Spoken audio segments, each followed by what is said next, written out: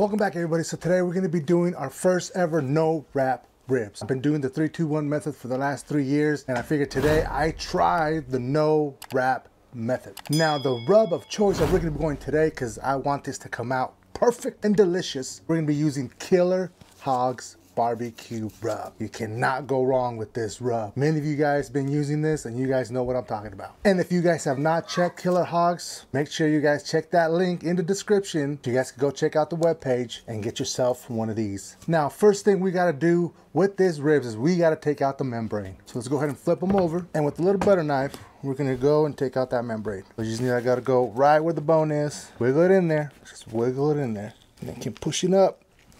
Now that we have a little pocket here. We can grab our towel and take it off.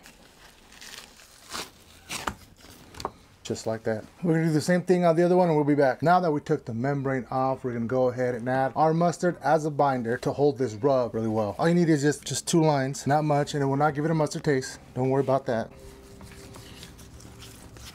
and just go ahead and rub it all over the place. All right, let's go ahead and add our Killer Hogs barbecue rub and we're just gonna do a light we're just gonna do a coat on the back and then this side too. Should you get every part of it. Now we're gonna turn it over and we're gonna do the same thing on the other side. We'll be back when we do that. On the other side, same process. Put your two lines. All right, let's go ahead and add our killer hogs back in there. Like I've said, can't go wrong with this rub. You wanna impress the people, wanna impress your family, you wanna make sure it comes out great, take out this rub, you will not fail. And just pat it in there, just pat it. All right, now that you, now that we added our killer hogs barbecue rub into our no wrap rib style that we're gonna be doing today, we're gonna have our Traeger grill at 225 and we're gonna let it ride at that for about five, maybe six hours. So it'll probably take about two hours for the rub to really set in. Pretty much the way to know if the rub is set in, just uh, grab your finger, tap it. If there's no rub on your finger, the rub has set in nice and good. And now what we're gonna do after the two hours is we're gonna start spritzing it with apple juice every hour to keep it nice and moist. And so once again, make sure you guys check out them links in the description. If you haven't tried this, I know you're gonna like it. That being said, let's go ahead and fire up our Traeger. Also, we're gonna be using uh, is our Thermopro line. All right, our Traeger is at 225 degrees. So let's go ahead and add our ribs in here.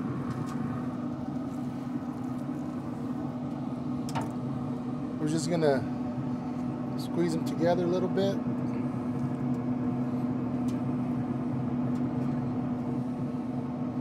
Man, look, nice color and everything. This looks beautiful. We'll be back in two hours to see where we're at and start spritzing. All right, it's been about almost three hours. And now you can, and there's not really any rub on your finger. So we're gonna spritz it every hour now.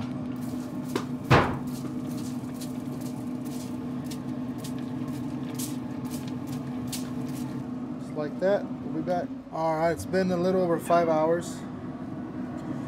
They look really good. Let's see where we're at. We're at 199. Let's take them out.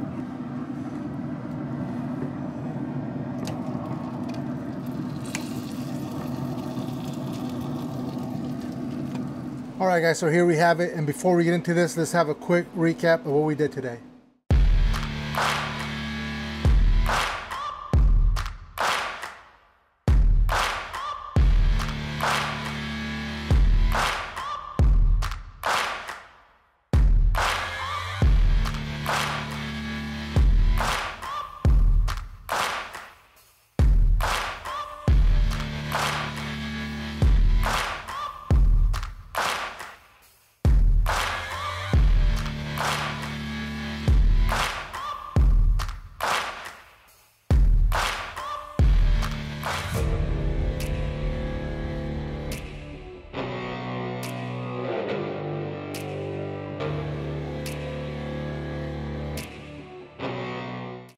And before we cut it, make sure you guys check out this Killer Hogs barbecue rub. I'll leave a link in the description so you guys can go to the website and pick out of the many rubs there is. Especially this one is one of the top barbecue rubs that you will find. So make sure you guys check them out because I know you guys will like this. So let's get a cut. So this was a no wrap. I'm excited to get to see how it came out. All right guys, so look at that beauty. So this was our first no wrap ribs. So I'm excited to try it and see if it's better than the 321 method. Let's go for it.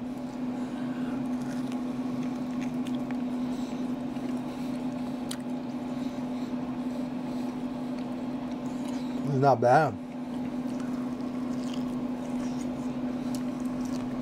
Man, that is delicious. There's just a lighty, tiny little pull to it. Very good. The only difference is it not fall off the bone. You know, a lot of people don't like that. This is really good. The rub helps it a lot.